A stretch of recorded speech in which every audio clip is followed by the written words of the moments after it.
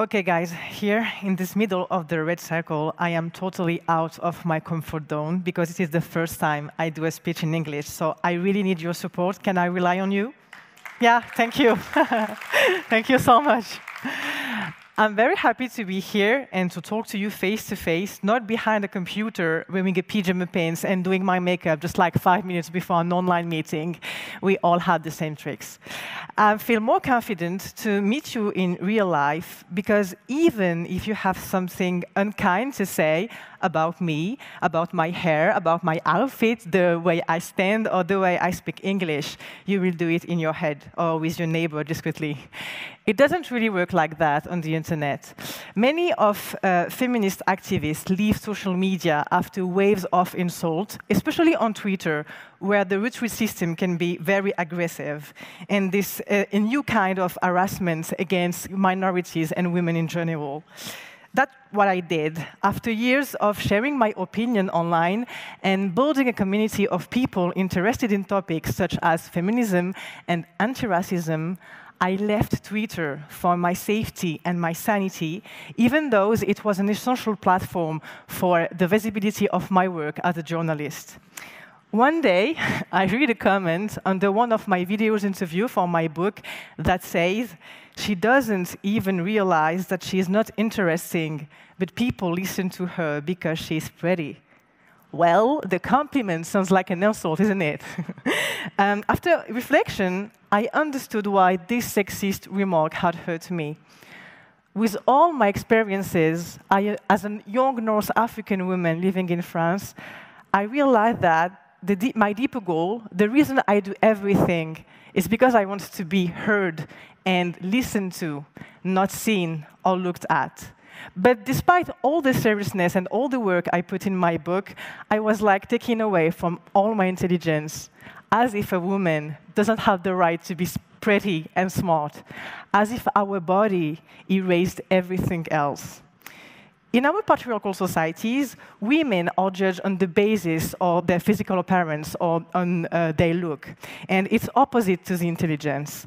It's true that there is actually a beauty privilege uh, for those who meet fat-phobic and racist beauty standards, such as having a clear skin, fun facial feature, or a slender body.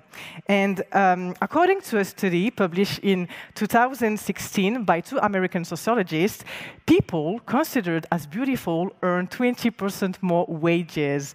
And in our societies, beauty is still tied to having a clear skin and a skinny bodies, even if Kim Kardashian and the new codes of Instagram have given some shapes to it all. The new ideal body uh, of social media is different from 30 years ago uh, with, uh, you know, the skinny and uh, white model women of uh, women's magazine. Today, shapes are fashionable, but still in an exclusive way. It means like you have a new kind of injunction to have uh, a nice buttock, but still a thin waist. So when someone says, I'm beautiful, and I exist through that, I should be flattered. But I am not.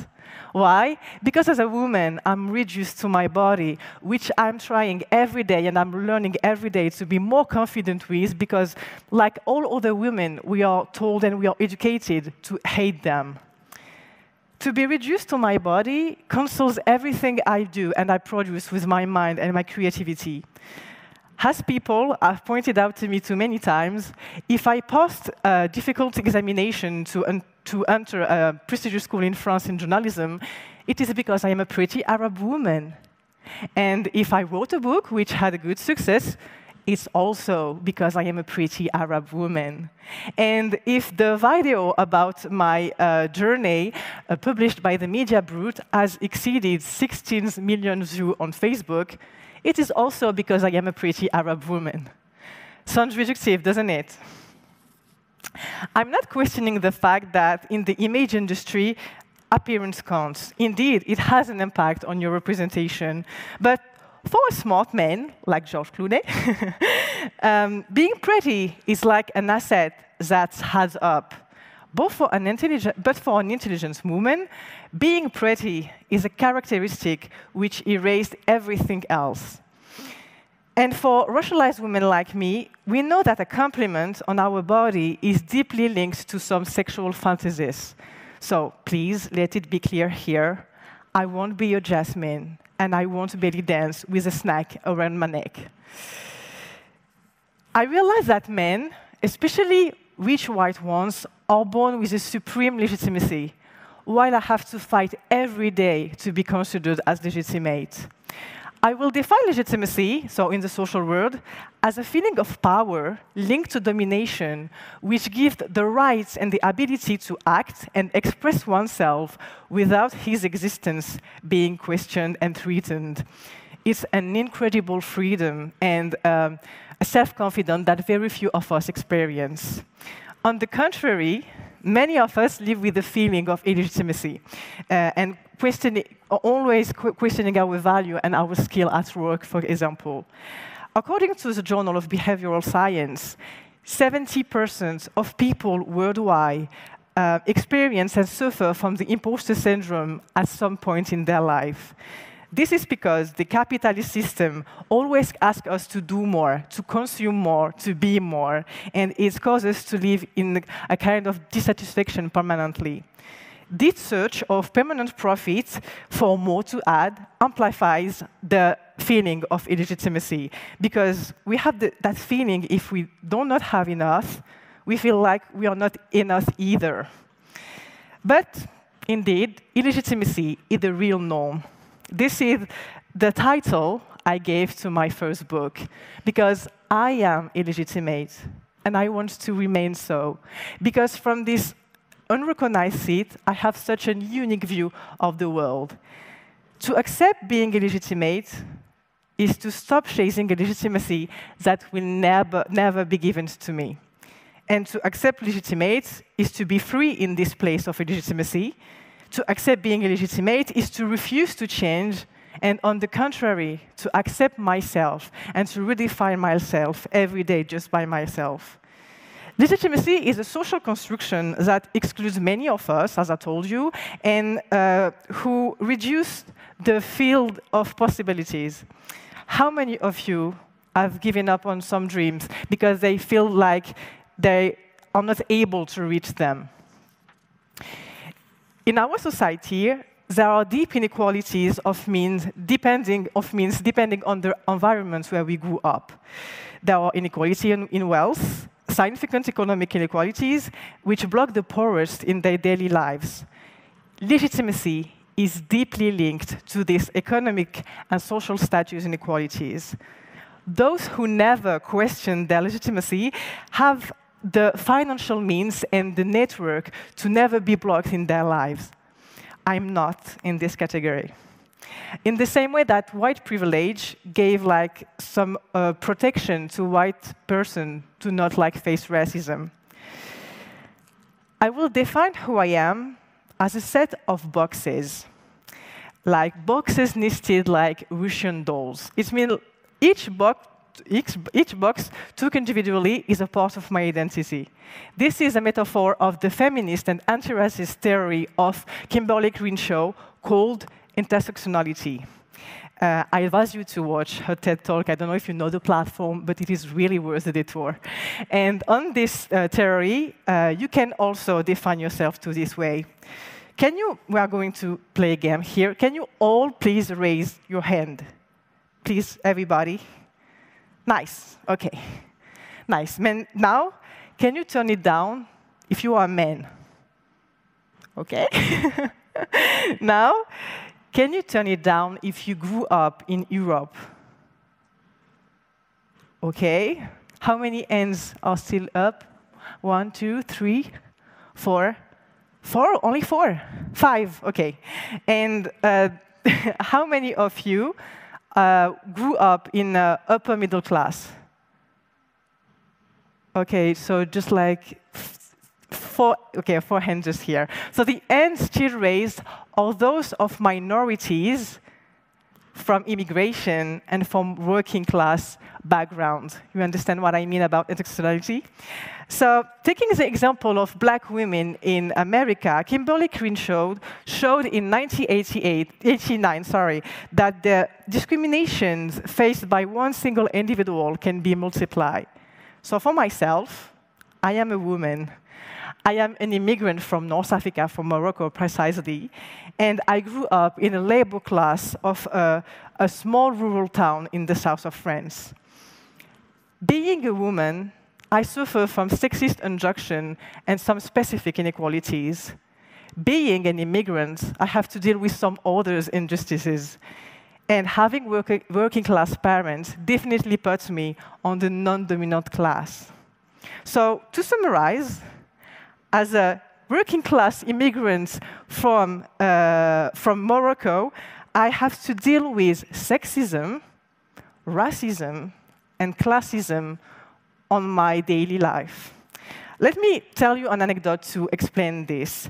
I was a student at Sciences Po Grenoble, uh, 2,000 kilometers from my family, who strongly believed in my studies and put all his saving in it. And uh, Sciences Po is one of the most prestigious schools in France in which you can enter after passing a difficult exam. And during my teenage years in the rural town I told you, I was like, people told me a lot that this kind of school is not made for people like me. People like me from immigration and with working class parents. Uh, so I was a student at this school at this moment, and I wanted to found an association called Arab World to speak about the political issues and also the culture of the region called SWANA, Southwest Asia and North Africa. And I put all my effort and all my money from my student job into the association to create it. And with the, uh, the support of some volunteer, the association was created in uh, October 2015, and it still exists right now in the school.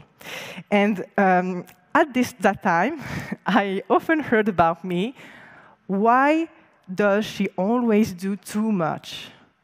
This is sexism, racism, and classism at the same time. You will never, never heard about a white man that he is, he is doing too much. As women, we are asked to be discreet, to not take up too much place, space, sorry, and even to apologize for our ideas and for our creativity.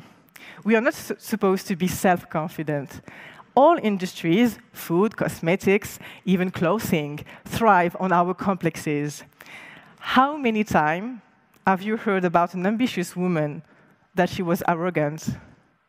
How many times have you heard about a woman who talks loudly that she is vulgar or rude? And how many times have you heard about a successful woman that she, that she slept to succeed? Distrust is great toward women who try to challenge the system of domination, and it's even more violent for, for women like me, for non-white women. Arab women in classical literature and also in pop culture have always been sexualized, and we are seen under the specter of sensuality and desire. So often, I want to get rid of all my boxes I don't want to be an Arab anymore. I don't want to be a woman anymore. I just want to be seen as a woman being. It's kind of funny because sometimes I forget who I am. I mean, it's just like in front on some injustice that I find myself saying, oh, this is who I am. I am an Arab woman, and this is a perception of people of me. Earlier in the, my speech, I spoke about cyberbullying and uh, on, on internet, I mean the harassment on internet. And because internet as a non-regulated space uh, is a place where you can find the most objects and the most illegal words uh, on the planet. According to a study published in 2019, one in five young people is victim of harassment online and victims are the same who are discriminated against in the daily life. So uh, women, non-white people, LGBT plus community, and persons with disability, etc. This is a proof that just as there is legitimacy in real life, there is also an access, an unequal access to legitimacy in, on internet. For so many years, I've been looking for a way to destroy those social assignments.